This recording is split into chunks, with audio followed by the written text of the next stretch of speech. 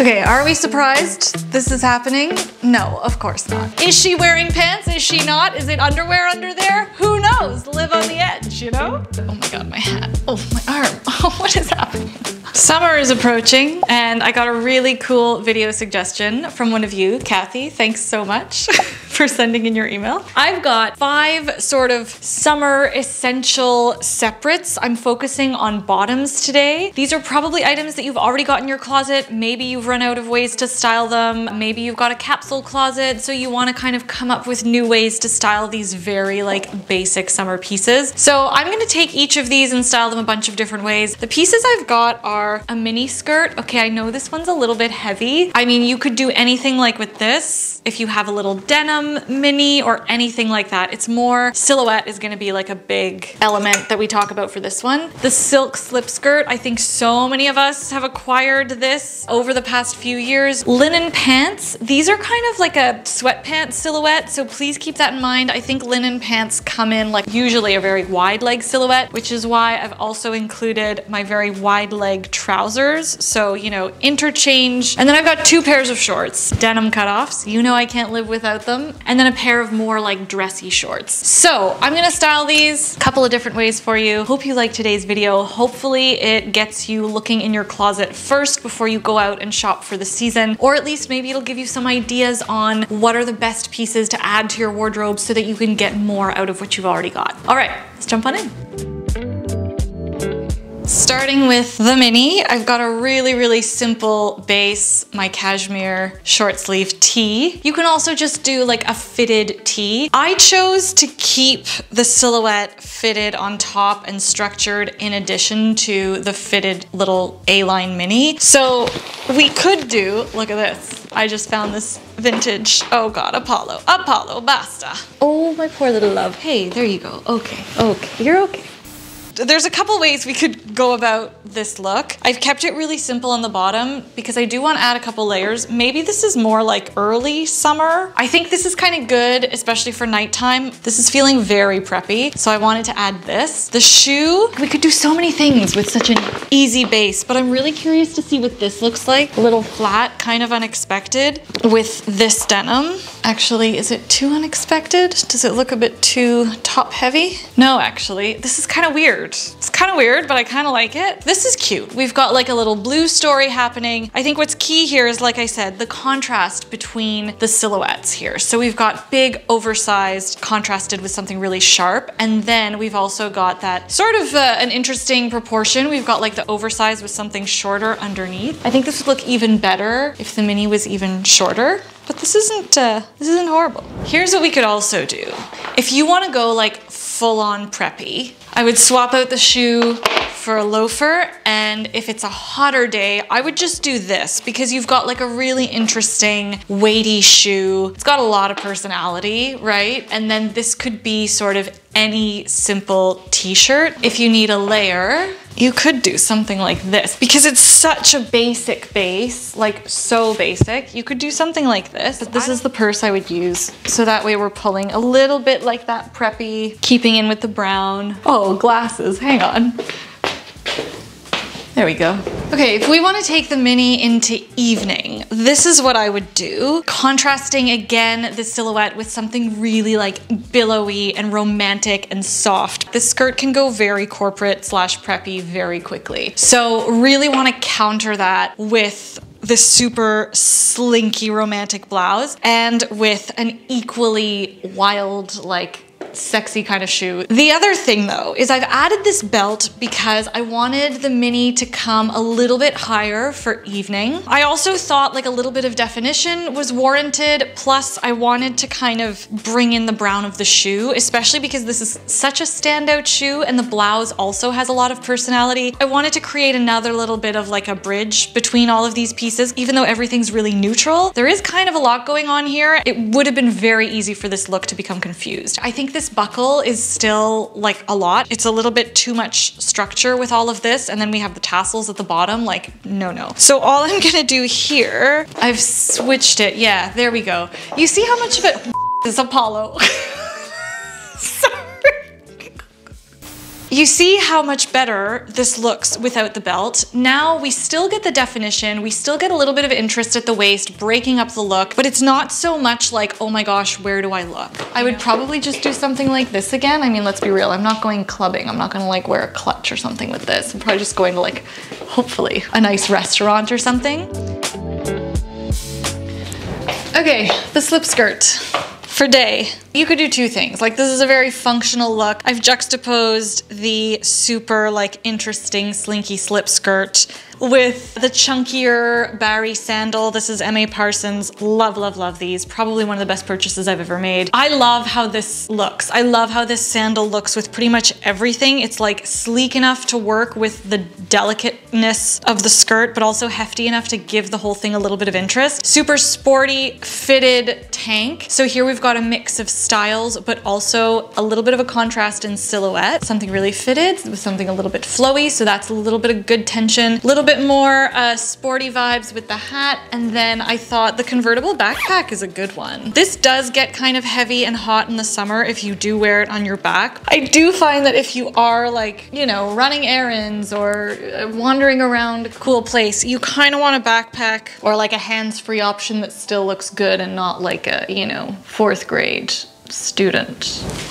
Okay, are we surprised this is happening? No, of course not. It's like button down season. So I'm gonna go for it. I wanna show you the difference between shoe choices here because I think originally my intention was to do like a cute little fun strappy kind of sandal. And if you have sort of a more minimal strappy sandal, then that's perfect. You need something a little bit minimal here because there is so much going on, like the tie of the shirt, the print on the skirt, the flowiness of the skirt, all of that stuff, right? So you kind of want the shoe to be a little bit nondescript and not take away too much from the outfit because I think this is the area that you want to appreciate. So also please excuse the knot I have to be mic'd, so it's it's a little bit sloppy. But I've done the kind of knot where like there aren't any buttons done. I just take the bottom, you tie it up. Purse, I would stick with the black and white motif, something small and easy, and away we go. Okay, the linen joggers. What I would do for super casual styling is just this. So go with like a cute little cheeky bralette if you want something really sporty, or if you are at the beach or at a cottage, swimwear. This is such an easy, breezy swimwear daytime look. Because if you wanna go for lunch somewhere or something, you can just easily do a little tie up on the button down, or just button it up all the way and leave it like nice and loose. Like this is kind of cool too, actually. So super versatile. I like going for a whole monochrome look, mm-hmm. especially I like matching the texture, especially because we're looking at like something that is so monochrome, so neutral, really cool, like organic texture. I thought going all one color is good. A little bit of a contrast in the chunkier sandal. Okay, the elements aren't really that much different from our daytime look to this nighttime one. I've kept the monochrome color palette. I think, like I mentioned, it's the easiest way to play with a texture that feels perhaps very, very casual. Keeping the top really basic, very streamlined so that it just elevates the linen and especially this like sort of super daytime inspired silhouette. So I think if you keep something else really fitted and simple, it can just bring these up a notch. Of course, the shoe. I mean, I don't know. What do you want? You could we could have probably changed absolutely nothing about the day look and just added the shoe and we would have been fine. Bag as well, kept it in the same palette. Lighter though, not too heavy. We've got a little bit of gold and that's it wide leg trouser, which is like super ubiquitous this season, also was last season. This could also be like a wide leg denim or just a slouchier, bigger straight leg denim if that's what you're into, but same silhouette, same idea. You might just wanna play a little bit with the styles, like mixing the different styles, cause like a boxy tee,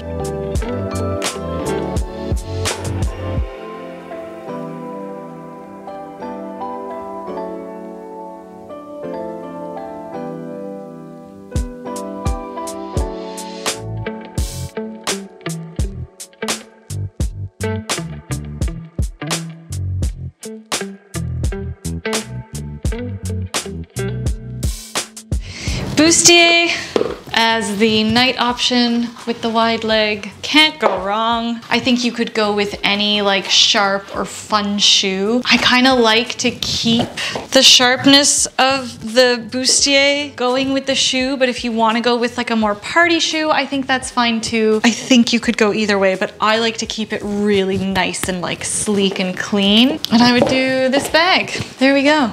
Easy. Fancy elevated shorts. I kind of kept it all within the same fancy realm.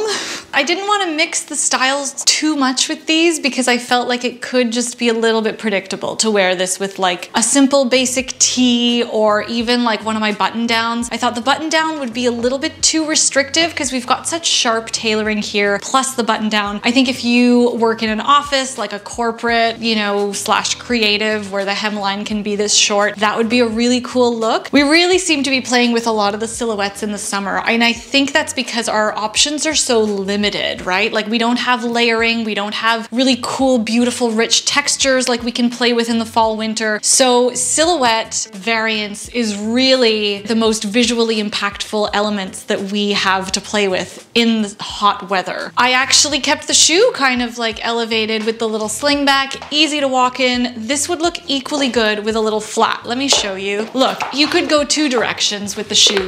Look how cute this is, how instantly the shoe changes. This feels like a little bit too safari for me to be honest, but if you wanted something a little bit more hefty, weighty, preppy, utilitarian looking, you could do something like this. I would probably swap out the belt for something thinner so that you don't have so much weight here and so much weight in the shoe, to be honest. It would make it like a little bit more refined looking. You could also do these cute little ballerine.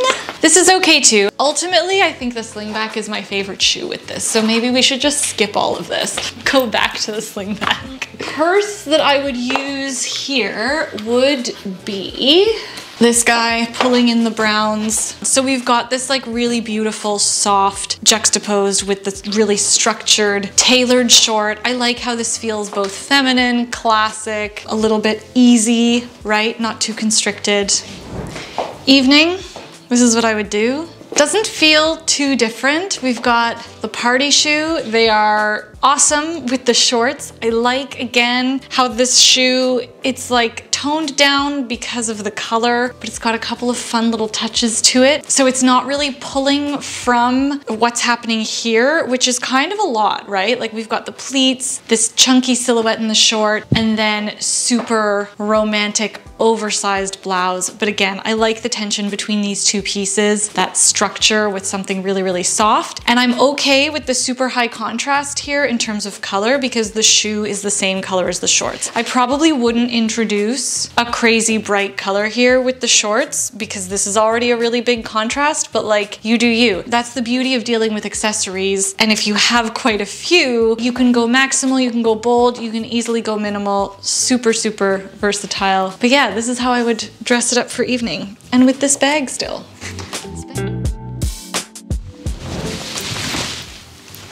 I've worn this like a bajillion times. This is my summer uniform ultimate. You're probably not surprised to see me in it. Um, I like dressing up the cutoff denims with a classic button up. I think it's just such a beautiful summer take on the typical straight leg denim with a great crisp button up. You could swap out the shoes here, something more preppy. We could do the loafer, but I kind of like how the ballerina feels maybe a touch unexpected. It has a little bit more of that like delicate element, which I like to bring in in the summer months, whereas like these heavier, more like masculine, feminine, androgynous vibes I prefer to do in the fall. But I'll just show you. I mean, this would work equally well with the little loafer. It totally will depend on your mood. Depends on how much visual heft you want your look to have. But this feels a bit heavier. I'm not as much of a fan, to be honest, but it's still cute. We're still good. You don't have to even change the purse because you're still working with the brown and the belt, now in the shoe, all good.